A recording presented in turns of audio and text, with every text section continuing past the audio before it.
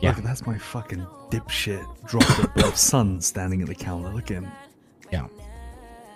Love you, son. Hey, Dad. How you doing? Doing pretty well. Just working, uh, you know. Is your mum being a bitch or not? Hell no. Relax, Harry. All right, son. Good job. Hell yeah, I love you, Dad. Can't just say that. Well, his mum is Penny. Oh, so hey, she's Penny.